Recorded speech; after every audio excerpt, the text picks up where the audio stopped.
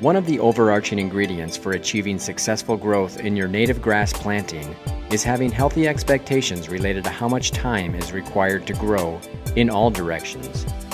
Native warm season grasses require approximately one to two years to establish, with most of the first year's growth taking place within the root system.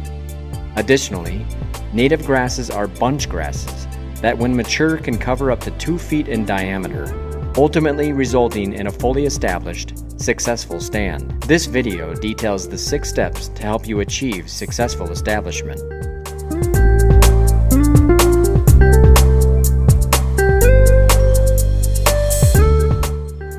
Proper selection of species and varieties is determined by considering both the goals of your project as well as the historic soil conditions of the site.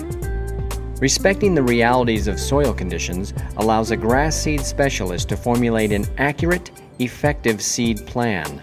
Spelling out the goals of your project will guide you towards selecting the correct combination of native grasses and forbs.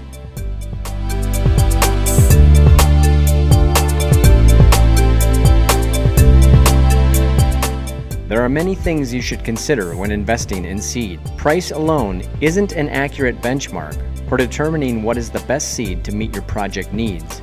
In fact, expertly cleaned and conditioned seed is one of the most vital components. Cleaned and conditioned seed allows for easy drill calibration, increased flowability, and even distribution across your entire field. Additionally, during the seed conditioning process, Larger, more vigorous seed is isolated and will provide up to 20% more seeds per PLS pound.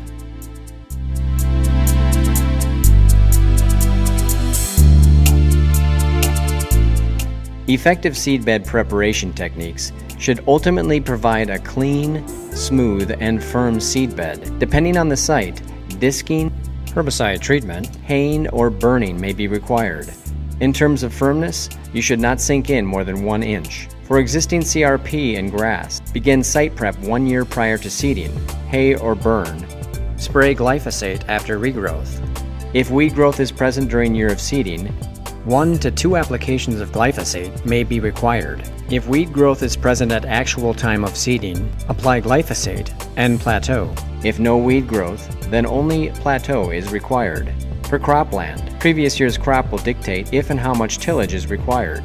Please be aware of the allelopathic effect wheat residue may have on native grass growth. If weed growth is present at actual time of seeding, apply glyphosate and plateau. If no weed growth, then only plateau is required. Be aware of any chemical residue that might be present.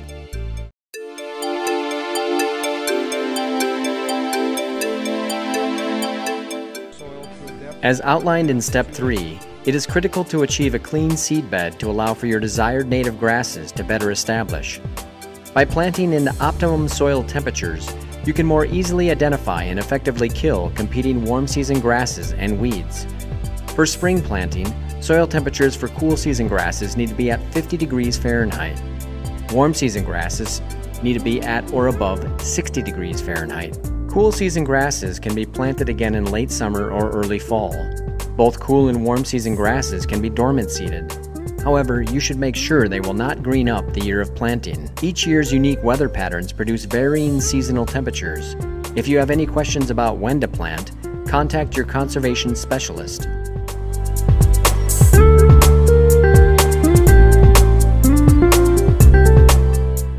Most seeds used in formulating native seed plans are small.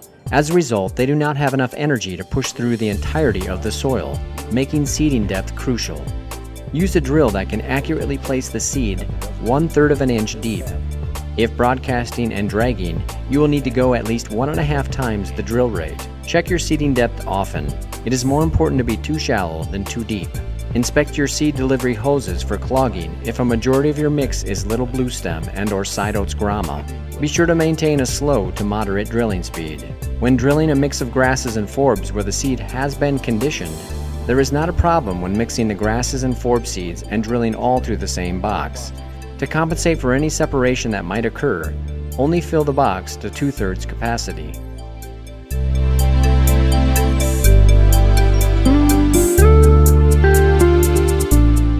Post-seeding management is a requirement of any successful project simply because there will always be a need to control weeds.